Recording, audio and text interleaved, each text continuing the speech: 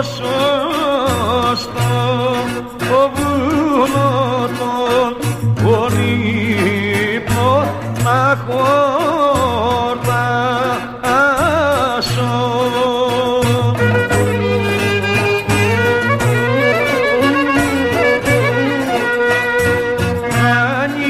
ανυποπρίζω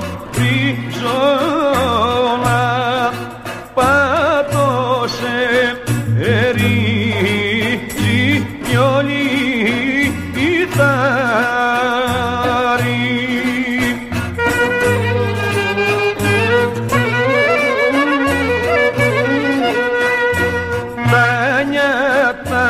του να